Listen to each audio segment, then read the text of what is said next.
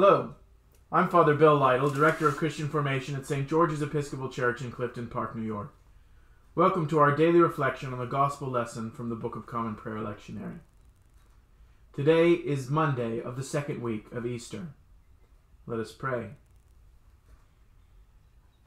Almighty and everlasting God, who in the paschal mystery established the new covenant of reconciliation, grant that all who have been reborn into the fellowship of Christ's body may show forth in their lives what they profess by their faith, through Jesus Christ our Lord, who lives and reigns with you and the Holy Spirit, one God, forever and ever. Amen.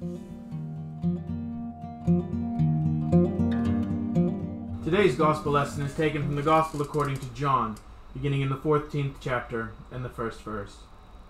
Jesus said, Do not let your hearts be troubled. Believe in God, believe also in me. In my Father's house there are many dwelling places. If it were not so, would I have told you that I go to prepare a place for you? And if I go and prepare a place for you, I will come again, and I will take you to myself, so that where I am, there you may be also. And you know the way to the place where I am going. Thomas said to him, Lord, we do not know where you are going. How can we know the way? Jesus said to him, I am the way, and the truth, and the life. No one comes to the Father except through me. If you know me, you will know my Father also. From now on, you do know him, and you have seen him. Philip said to him, Lord, show us the Father, and we will be satisfied. Jesus said to him, have I been with you all this time, Philip, and you still do not know me? Whoever has seen me has seen the Father. How can you say, Show us the Father?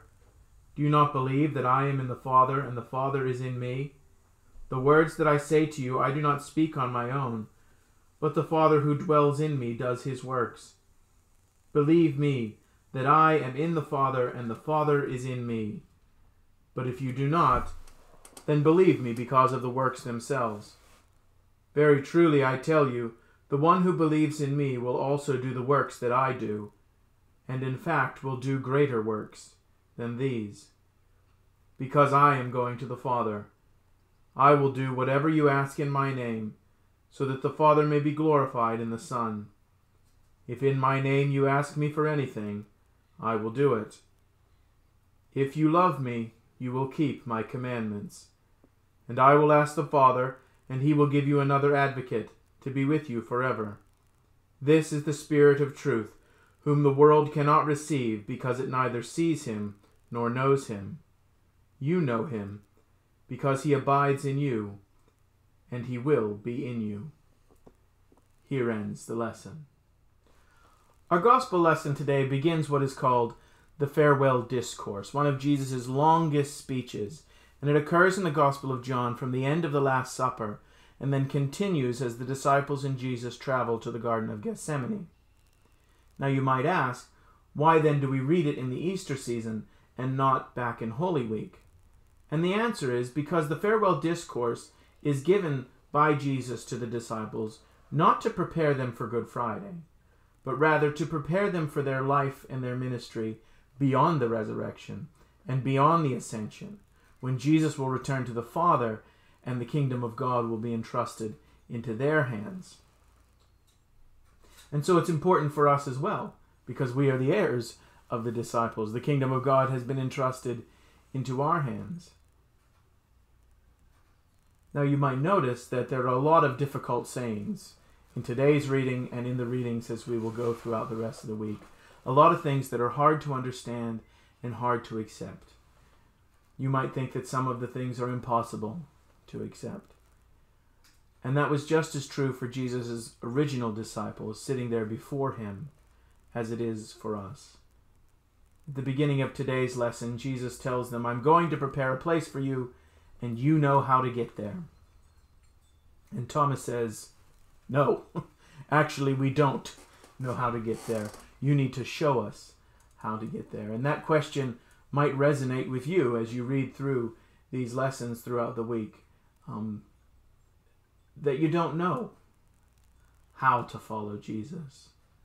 that you don't know how to do what He's asking you to do. I know that that resonates with me, that I always don't feel like I understand, that I grasp what I'm being called to do, where I'm being called to go, how I'm being called to serve, how I'm being called to trust and believe.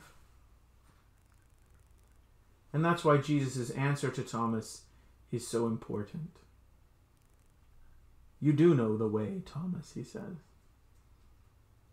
Because I am the way and the truth and the life. And that is something that is easy for us to forget. The Christian journey, the Christian faith, is not really about believing a certain set of precepts. And it's not really about following a certain set of rules.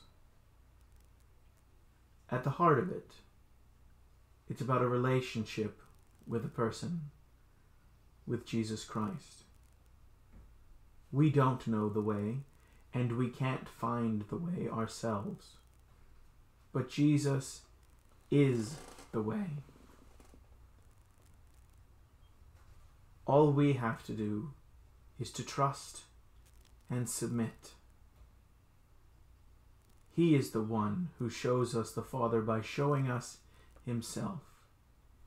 He is the one who sends us the Spirit so that we will be able to do the things He has called us to do, that we will be able to show our love for Him by obeying His commandments, that we will be able to follow where He is going.